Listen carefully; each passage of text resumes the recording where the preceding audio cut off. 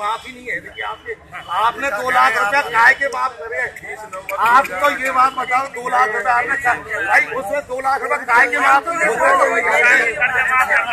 तो कौन सी बैंक से छोड़े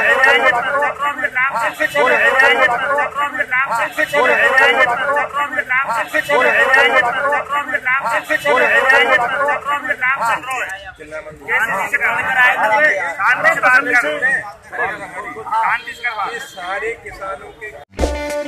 इन खबर चैनल को सब्सक्राइब करें और बेल आइकन दबाना ना भूलें।